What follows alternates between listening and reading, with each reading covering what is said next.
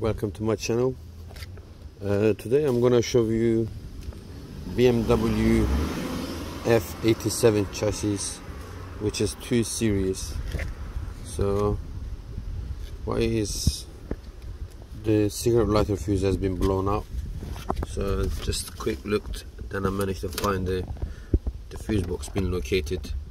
So the fuse box one of the fuse box which is on the boot on the carpet mat so the fuse is there.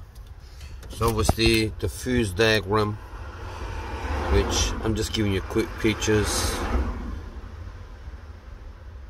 which can which you can able to find it more clear about it. So basically if if I can manage to hold like this. Okay. So one is there.